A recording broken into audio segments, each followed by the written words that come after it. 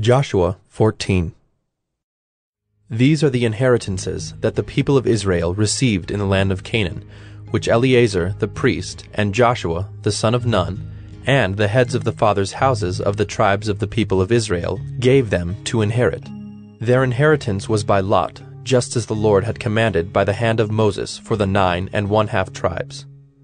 For Moses had given an inheritance to the two and one half tribes beyond the Jordan, but to the Levites he gave no inheritance among them. For the people of Joseph were two tribes, Manasseh and Ephraim.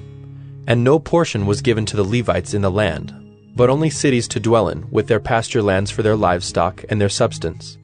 The people of Israel did as the Lord commanded Moses. They allotted the land. Then the people of Judah came to Joshua at Gilgal, and Caleb the son of Jephunneh the Kenizzite said to him, You know what the Lord said to Moses the man of God in Kadesh Barnea concerning you and me.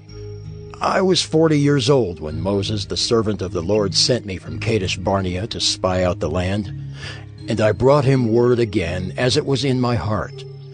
But my brothers who went up with me made the heart of the people melt. Yet I wholly followed the Lord my God.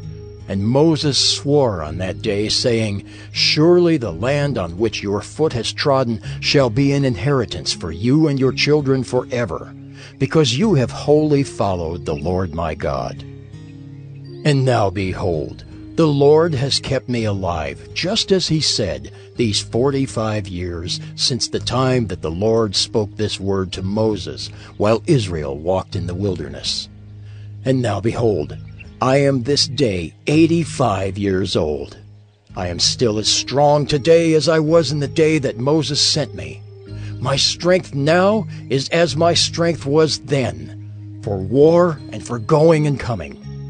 So now give me this hill country of which the Lord spoke on that day. For you heard on that day how the Anakim were there, with great fortified cities. It may be that the Lord will be with me, I shall drive them out just as the Lord said. Then Joshua blessed him, and he gave Hebron to Caleb the son of Jephunneh for an inheritance. Therefore Hebron became the inheritance of Caleb the son of Jephunneh the Kenizzite to this day, because he wholly followed the Lord, the God of Israel. Now the name of Hebron formerly was Kiriath Arba. Arba was the greatest man among the Anakim, and the land had rest from war.